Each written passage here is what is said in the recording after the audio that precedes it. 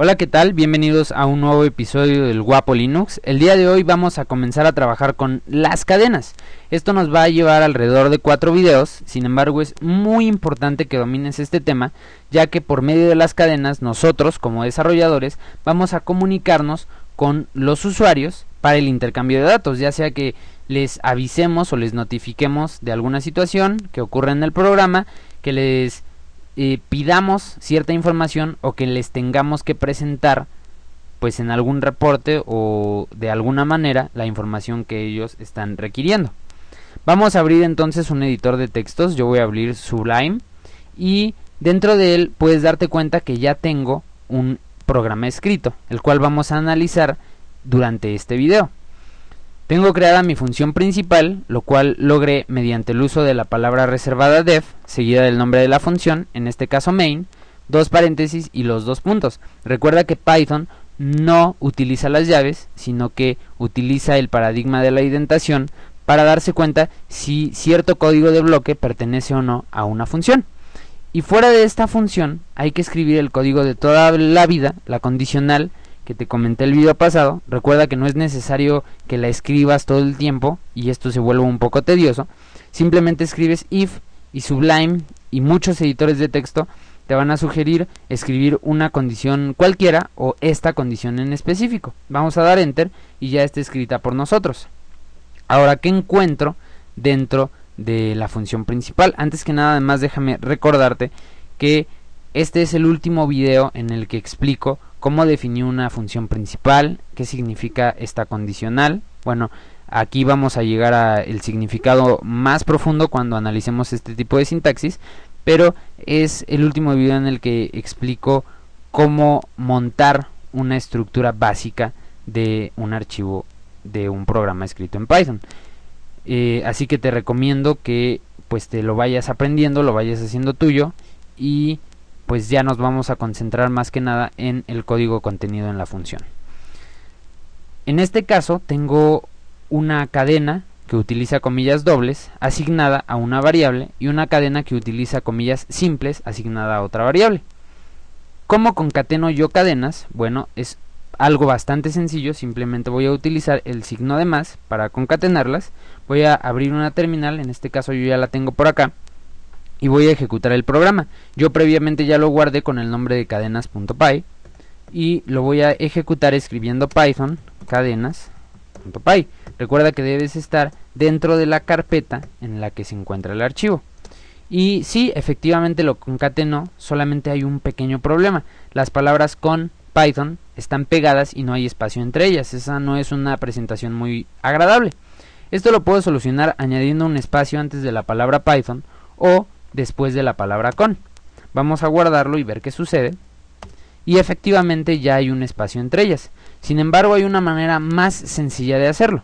Si yo ocupo la coma para concatenar dos cadenas, Python va a insertar un espacio entre ellas. De esta manera no me tengo que preocupar si existe o no ese espacio. Simplemente Python lo va a poner. Eh, aquí añadió otro espacio ya que en este caso la cadena ya tenía un espacio, vamos a guardarlo y volverlo a correr. Y como puedes ver en el primer caso utilizando el signo de más, pues tengo aquí pegadas las palabras y en este caso ya tengo un espacio entre ellas. Ahora, ¿qué pasa si yo quiero combinar las comillas? Es decir, introducir comillas sencillas dentro de dobles y dobles dentro de sencillas. Esto va a funcionar perfectamente y aquí te va la explicación de por qué. Python va a buscar una comilla y va a decir ok, aquí va a iniciar una cadena y hasta que no encuentre comillas del mismo tipo, todo pertenece a la misma cadena. Es por eso que no importa que este texto esté dentro de comillas simples y tampoco importa que este texto esté dentro de comillas dobles, siempre y cuando las comillas abarcan toda la cadena. Vamos a ver cómo funciona esto. Efectivamente aquí me hizo la combinación de cadenas en ambos casos.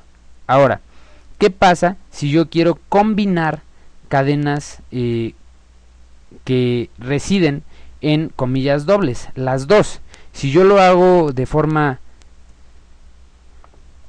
así como sería lo, natural, lo, lo, primero que se me viene a la mente, voy a obtener un error y tú ya podrías ir pensándolo debido a que este texto dejó de iluminarse de la misma manera que la cadena. Vamos a verlo y sí efectivamente me manda un error. ¿Esto por qué? Porque Python encuentra estas comillas dobles, busca las siguientes comillas dobles y son estas. Entonces en este momento terminó la cadena y esta palabra ya no tiene nada que hacer aquí. Sin embargo, para esto voy a utilizar una diagonal invertida y de esta manera Python va a llegar con la cadena invertida y va a buscar una secuencia de escape o otras comillas del mismo tipo, en cuyo caso se las va a brincar hasta que encuentre unas comillas del mismo tipo sin la diagonal invertida antes. Así que no hay ningún problema si a ti te gusta programar con comillas dobles o sencillas y quieres meter este tipo de comillas dentro de tus cadenas. Vamos a imprimirlo y ya nos dice aquí, en este caso este es un inception de comillas dobles y este es un inception de comillas simples. Funciona así de fácil. Pero entonces, ¿qué es una secuencia de escape? Porque yo aquí te mencioné que busca comillas del mismo tipo o una secuencia de escape. Una secuencia de escape en muchos lenguajes de programación nos significa un formateo de nuestra cadena. En este caso, diagonal invertida y una n me van a significar un salto de línea, diagonal invertida y una t, una tabulación y diagonal invertida v, una tabulación vertical. Estas son como estándar entre muchos lenguajes de programación, existen varias y yo te voy a dejar en el código que voy a subir a GitHub, el link te lo dejo aquí en la descripción, eh, así como cualquier código de cualquier tutorial ya está a tu disponibilidad en GitHub. Te voy a dejar varias, pero estas son como las más básicas. Vamos a ver qué pasa si yo las imprimo. Voy a guardar esta parte y voy a comentar acá para obtener solamente la impresión de las secuencias. Yo escribo y obtengo esta cadena, salto de línea, seguido de un salto de línea, que es la diagonal invertida n, una tabulación, que la especifique también con su eh, secuencia de escape, y una tabulación vertical, que es este espacio. Entonces, si te das cuenta, al momento de aplicarlo a nuestros programas, se pueden convertir en ayuda para presentarle al usuario los datos que requiere de una manera pues más cómoda y más atractiva. Aquí hay dos ejemplos de cómo los puedo utilizar dentro de situaciones cotidianas.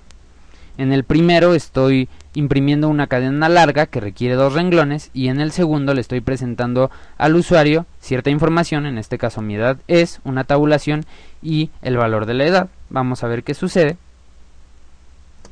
Ahí está.